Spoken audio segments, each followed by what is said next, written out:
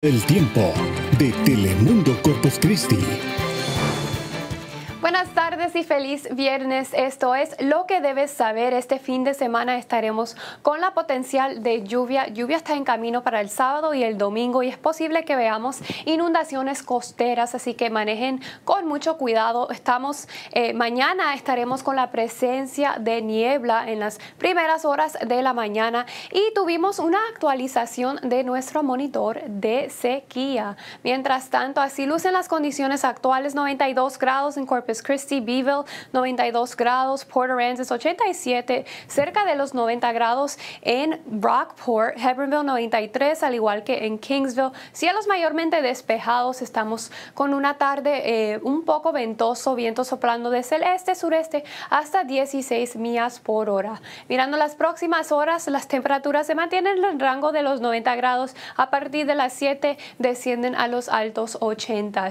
La sensación térmica Aún estaremos eh, viendo la sensación térmica en esos triple dígitos para las 6 de la tarde. Mañana también eh, aumentará a esos triple dígitos. Aunque no estamos ante alertas de calor extremos, aún estaremos con un ambiente eh, caluroso y es debido a alta presión que está dominando nuestra región para el día de hoy, pero se estará dirigiendo hacia el este y es, por eso que estamos viendo esa potencial de lluvia en los próximos días. Como pueden ver, para mañana. Ya estaremos con la presencia de nubes y algunos chubascos ligeros eh, cerca de Corpus Christi, Freer, George West y Beeville. Y a lo largo de nuestro día mañana estaremos viendo esa potencial de tormentas eléctricas eh, cerca de Beeville, Sinton y en la comunidad costera. Y va a continuar hasta horas de la noche que eh, aún estaremos con esa potencial de lluvia. Y el domingo es el día donde estaremos viendo más eh, fuertes y esa potencial de inundaciones costeras por, por, si sos de esas personas que vives en las comunidades costeras, conducen con mucho cuidado Sinton, Refugio, Rockport a lo largo de nuestro domingo y la semana entrante estamos con esa potencial de lluvia. Fíjense en cómo eh, luce mi gráfica de probabilidades de lluvia.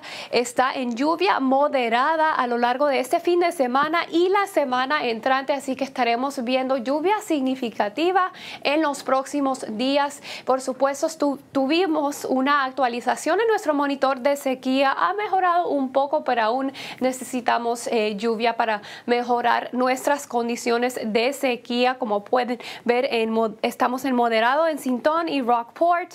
Eh, no tan mal en Corpus Christi, Kingsville, entre severo y extremo para lo que es Falfurias y Hebronville. Así que la lluvia que vamos a recibir, muy beneficioso. Y para el día de mañana estaremos con la presencia de eh, niebla, así que manejen con despacio, use eh, luces antiniebla si los tienes, si los tienes y mantenga la distancia entre vehículos. Pero así luce su pronóstico extendido, estaremos con viendo temperaturas por encima de lo normal a lo largo de este fin de semana.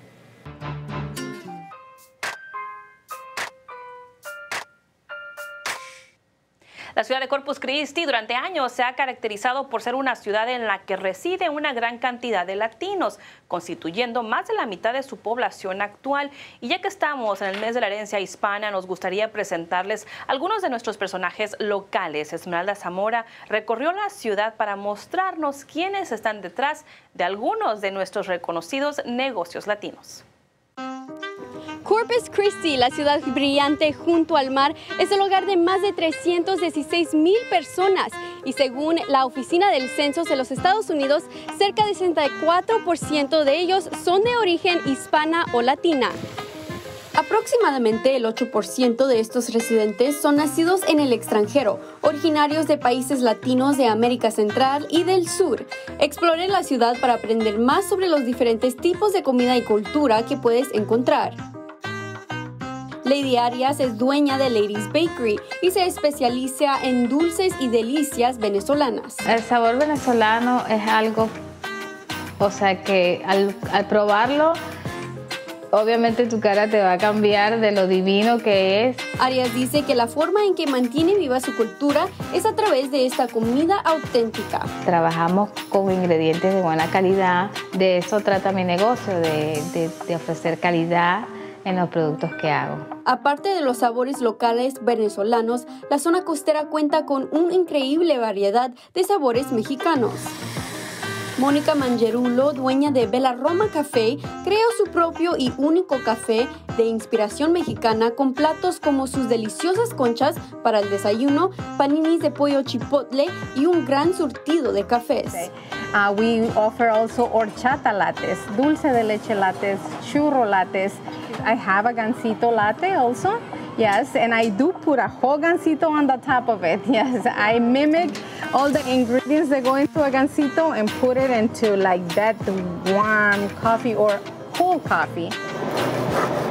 Gustavo Silva es dueño de un food truck con una fusión de cocina cubana, nicaragüense y colombiana. Dice que tiene una gran cantidad de clientes regulares de diferentes países latinoamericanos. Aquí hay bastante cubanos, hay bastante nicaragüenses, venezolanos, uh, hondureños. Quienes disfrutan de los auténticos bocadillos cubanos de Gus y su café especial, servido como en la ventanita de Cuba. A lo mejor mirándola o como el nombre que tienen no, no es llamativo porque no lo conocen, pero cuando en cuanto prueban la comida es una experiencia diferente. Corpus Christi es el hogar de un gran número de residentes que vienen de Venezuela y no solo tenemos repostería tradicional, sino también sabrosos platos de bona fide. Tiene muy buen sazón, muy buen sazón. Daniela Cova dirige un auténtico camión de comida venezolana, papelón con limón. Lo que más le emociona es poder compartir su amor por su cultura con los demás a través de su cocina. Trato de traer todos los productos venezolanos, o sea, todo.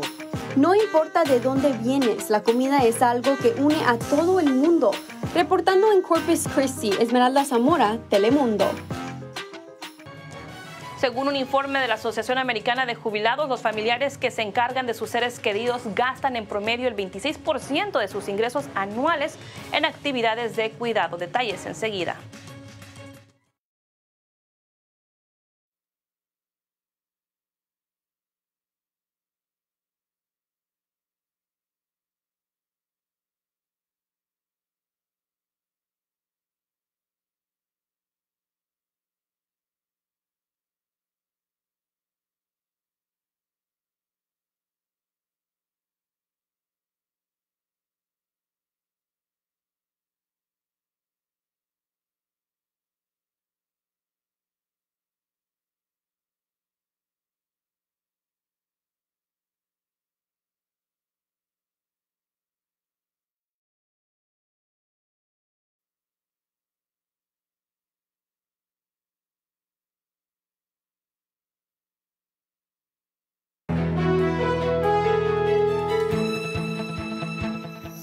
Los familiares que se encargan de sus seres queridos gastan en promedio el 26% de sus ingresos anuales y esa cifra es más alta entre los latinos. Silvana Henao de nuestra cadena hermana CNBC nos cuenta cómo prepararse para ayudar a miembros de su familia.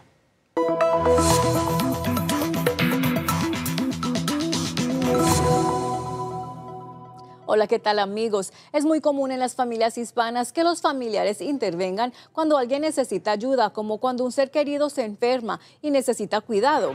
Según un informe de la Asociación Americana de los Jubilados, los familiares que se encargan de sus seres queridos gastan en promedio el 26% de sus ingresos anuales en actividades de cuidado. En comparación con otros, los cuidadores hispanos y latinos tienen la mayor presión financiera según AARP, con gastos de cuidado que representan el 47% de los ingresos anuales.